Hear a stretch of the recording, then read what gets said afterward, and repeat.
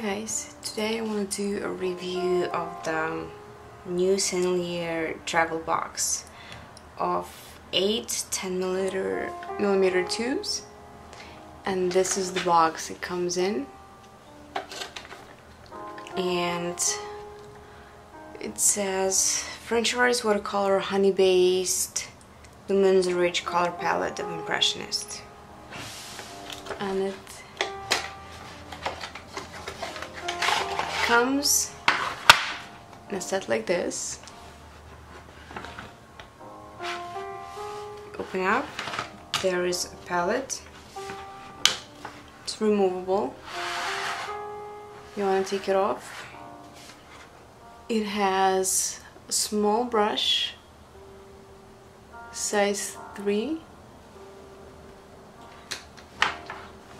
And these are tubes so there's um, Yellow Light,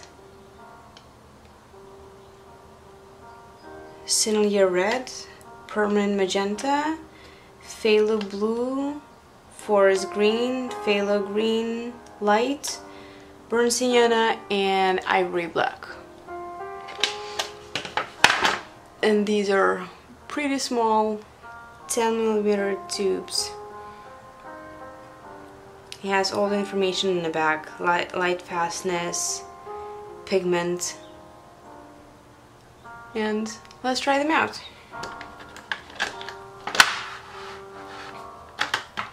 I'm gonna put little dibs of paint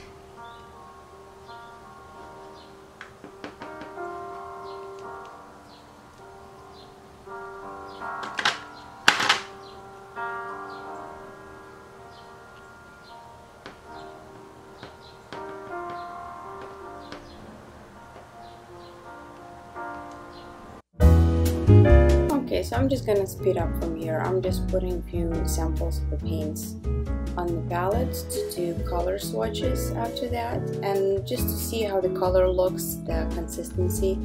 It was um, pretty nice, pretty uh, buttery and pasty, I would say, not too runny. So I laid out the names of the paints um, on a little watercolor paper, little piece of watercolor paper and I usually mark the transparency and light fastness. The only color that was not rated is Sennelier Red. Did not have any rating for its uh, light fastness. But other than that, most of the colors are pretty transparent. I think only Ivory Black was the one that's opaque. And colors look really nice and vibrant and this is actually uh, because of the honey that was used in, um, as a binder in the paint. Honey adds sort of this luminosity and radiance to the paint. But also another good thing about honey is that it also increases longevity of the paint. It's not gonna dry up and be almost unmanageable in a few years. Like something that happened to me with my Winsor Newton, uh, their Cotman series. Those colors are pretty much so hard to use right now. But these I'm hoping are gonna last a pretty long time. So the colors are vibrant. I really like the forest green, goes to almost dark black. And uh, burnt sienna has a nice warm shade, very transparent. The last one is ivory black. Again, not sure about this one. I don't know if I'm going to use this one. Um, just a very neutral color. It's probably going to be good for some inking effects or something like this.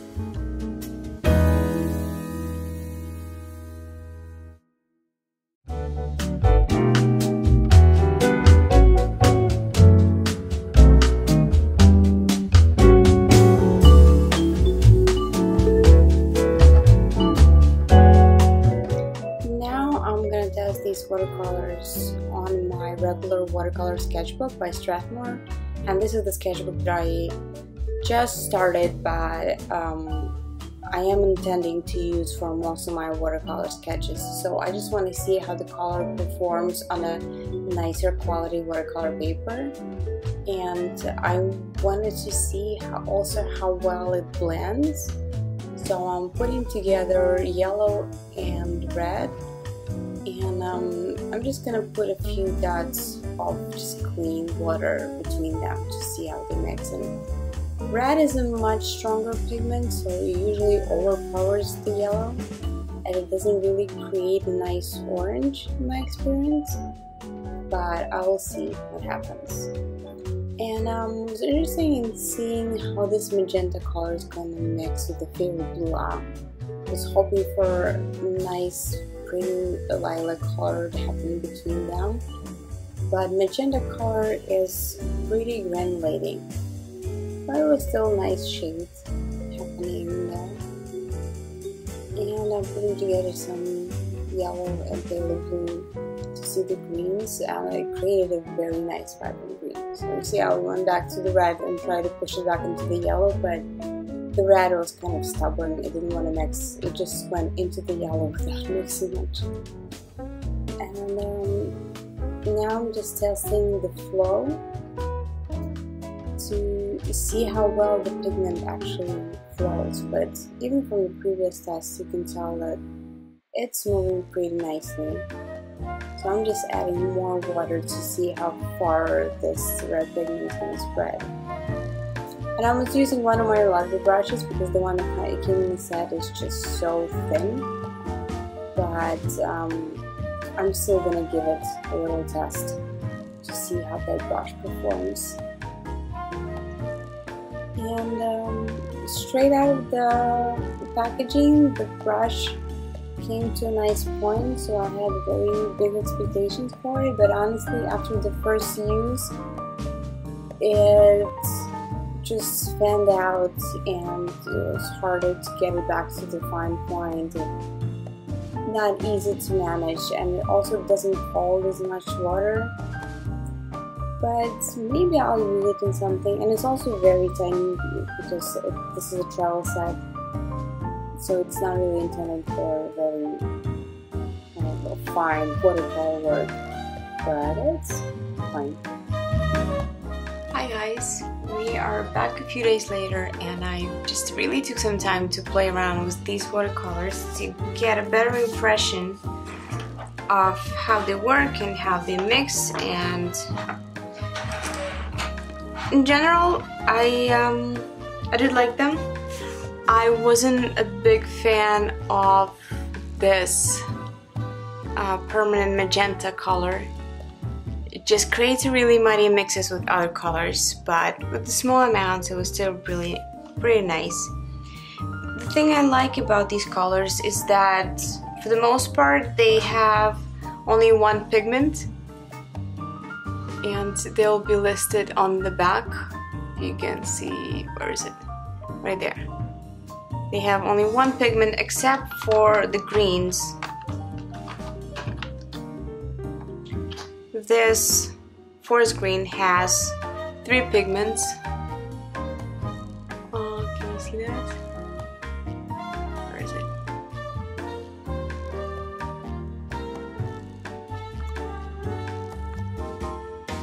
There.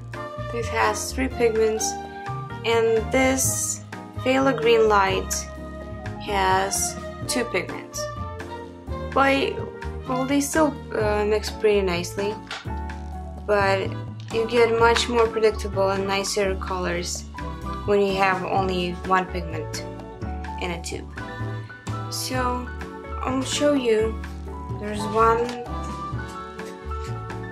test piece that I did with these colors and I was really going for the subtle but still vibrant colors and I think these watercolors did pretty nicely with, the variety of the neutral tones you can get with them. And today I'm just gonna do uh, another demo so you can see better how these colors are mixing together and I'm using the Strathmore watercolor sketchbook. It's 140 pounds. And another thing we're gonna test today is how well these colors can be re-wet. This panel over here, mixing palette, is a few days old. So we're just gonna do some test. Picking up some water. And okay, let's see. Is nice. You see right away this is picking up better color. Let me zoom in.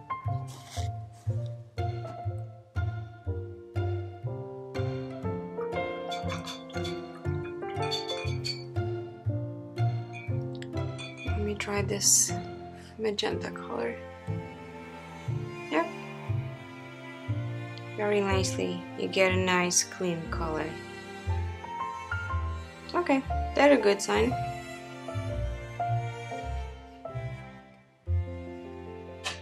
So I'm gonna do a floral illustration today because I'm working on some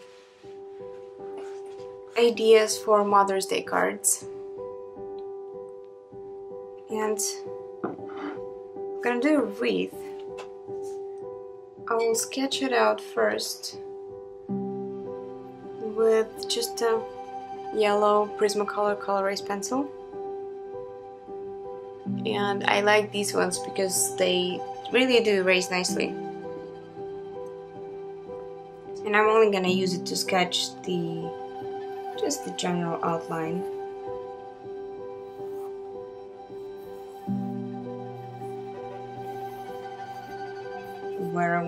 Want to go, kind of. But we will see how it looks in color.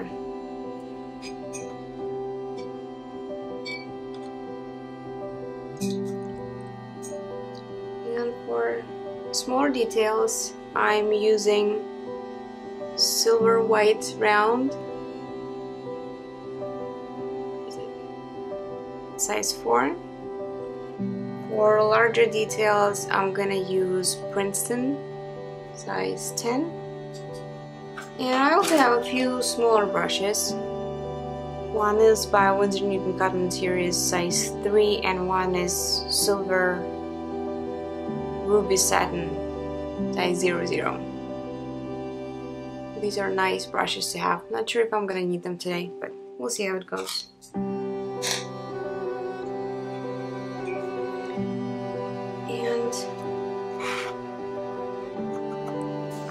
start with my green.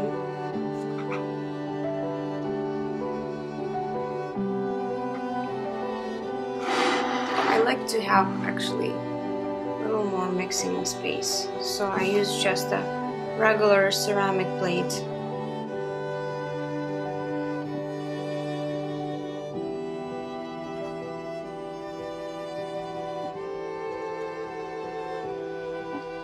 to have more space for mixing colors.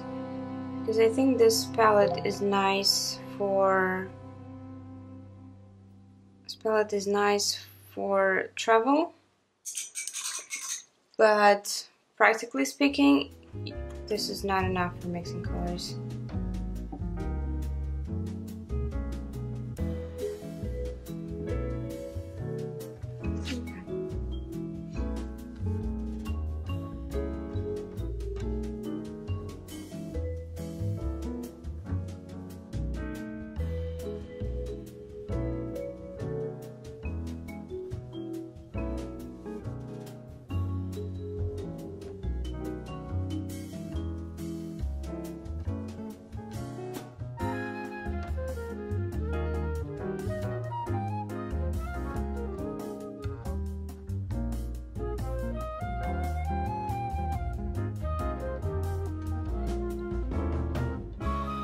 As you can see, colors are very nice and vibrant. And right now I'm using a combination of the Phthalo Light Green and Forest Green. And these two mix nicely together.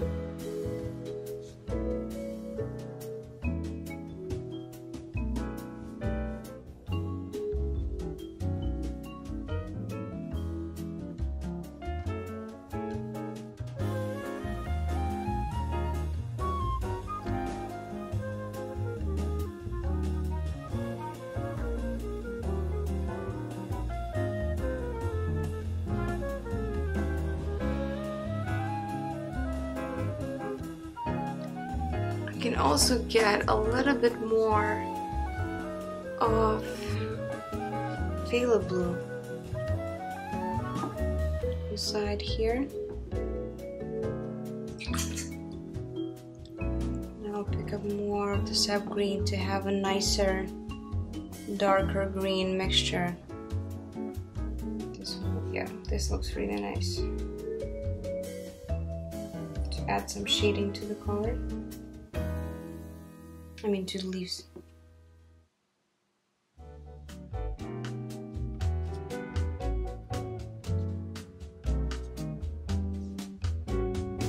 I'm using just regular tap water. I'm not using any flow mediums. Just to see how the colors perform on their own.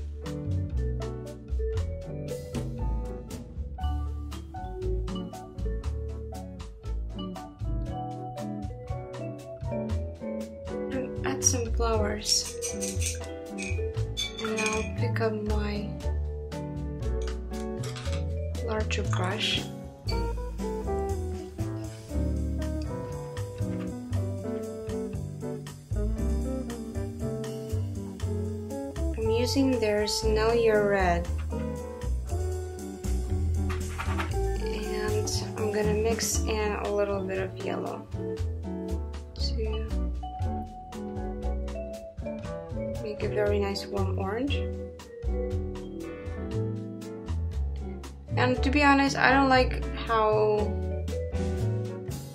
watercolor mixed orange looks. I sort of prefer to have it straight from the tube. I feel like it's it's always much more vibrant. But today was just working with what we have here. For another flower, I want to use just pure yellow.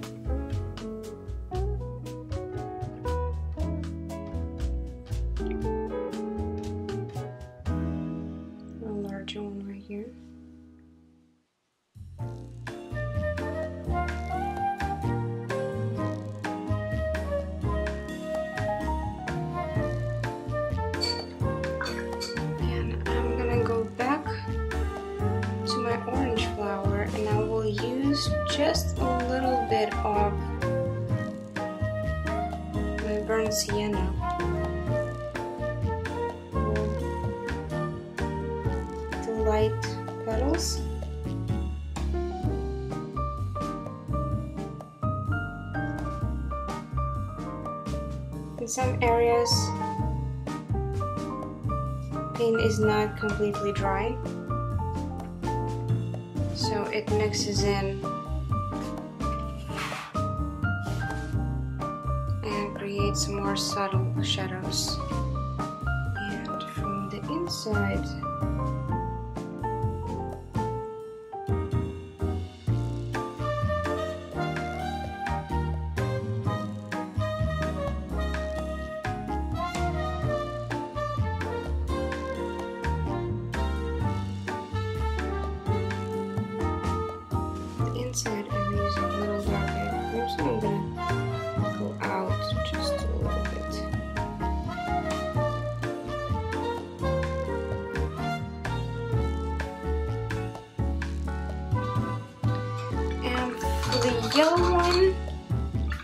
I'm gonna use green. Mm, The middle part I don't want the green just as a fresh look. Of.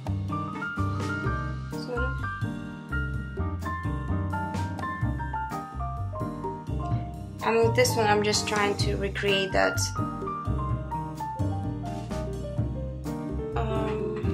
Exact name of that rose, garden rose. That is very thick, sort of looking like a peony.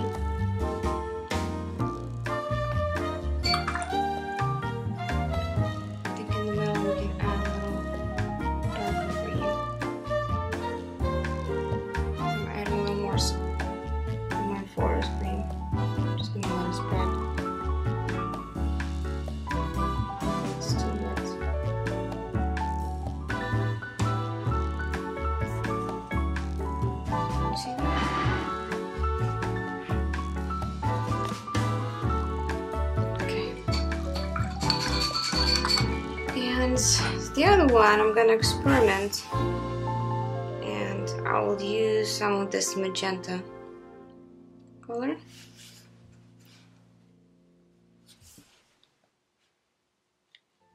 I'm just gonna see, oh no, I think I'm gonna add some red to it. Just, this color doesn't really work for me, I don't know why.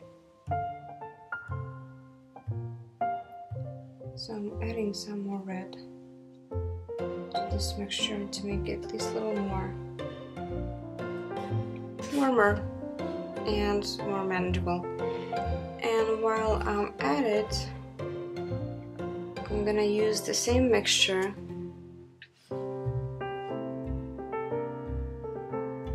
on this side just for some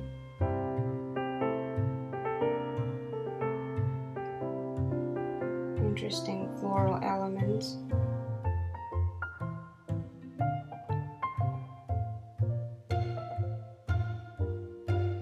And I'm still using my size 10 brush because it comes to a really good point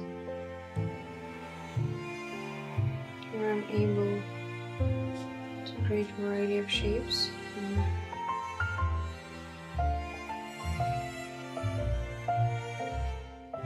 Just added some random flowers in there. Okay, I think I can go back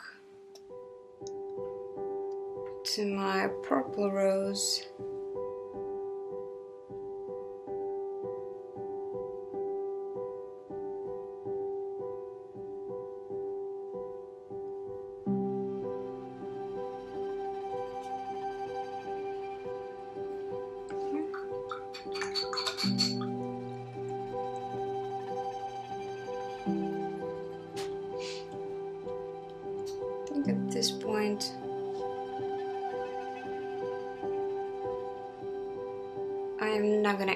Flowers to this.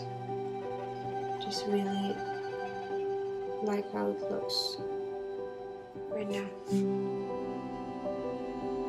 Need to pick up some more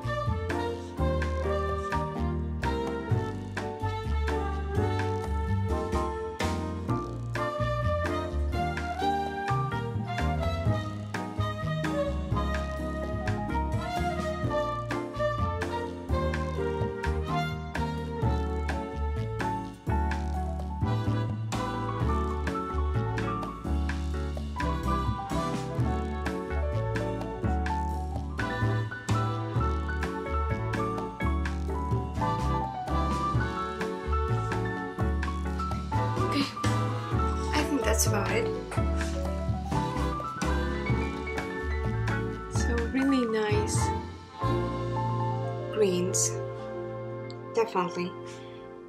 Um, really nice yellow.